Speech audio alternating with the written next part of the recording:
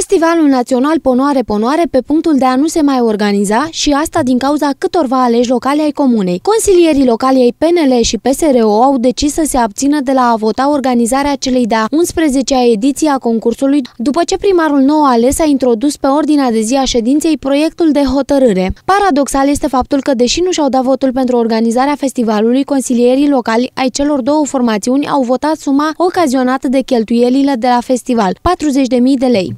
Dispun la vot proiectul de hotărâre privind aprobarea organizării Festivalului Național Concurs de Folclor Ponoare Ponoare, ediția 11-2016. Cine este pe?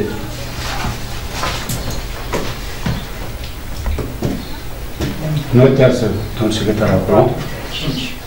Vestea a surprins atât pe simpli ponoreni, care de fiecare dată participă cu bucurie la festival, cât mai ales autoritățile locale care în timp au făcut eforturi atât pentru inițierea concursului, cât și pentru a aduce tradiția festivalului mai departe. E păcat de un asemenea festival să se piardă și sperăm să ne audă cineva, dacă tot dumneavoastră uh, umblați cu interviu, să, să ne audă cineva să facă ceva.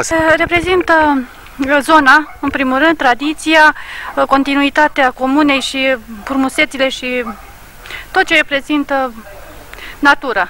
Sunt surprins de știrea aceasta, am aflat-o acum o oră și sunt de-a dreptul indignat că pot consilierii, o parte din ei, să gândească că acest festival poate fi sugrumat după ce timp de 10 ani a dobândit amploare și a fost foarte bine primit nu numai de locuitorii Comunei Ponoarele. Pare rău că aud așa ceva, așa ceva nu e posibil să fie.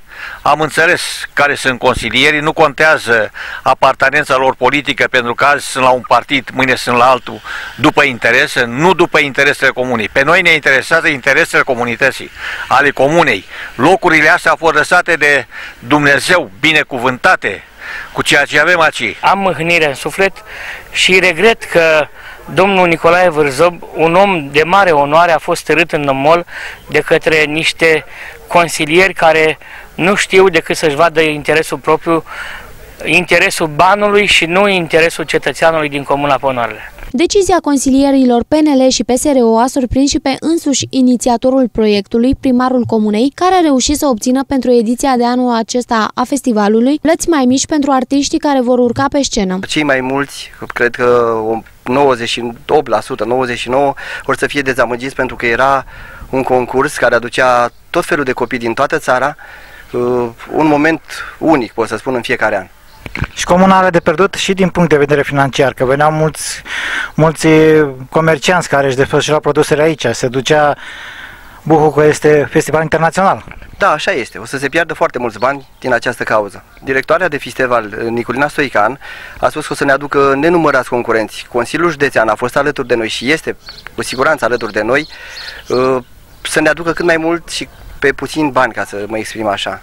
Primarul comunei a convocat pentru săptămâna viitoare o ședință extraordinară pentru a supune din nou la vot proiectul de hotărâre privind organizarea festivalului Ponoare Ponoare, un concurs ce atrage an de an nu doar mehedințenii, ci și persoane din toate colțurile țării. În ședința Consiliului de la Ponoare, aleșii locali și-au dat în schimb votul pentru rectificarea bugetului local, au stabilit taxele pentru agenții economici și au aprobat regulamentul de funcționare al Consiliului Local. Totodată s-a votat constituirea comisiilor de specialitate.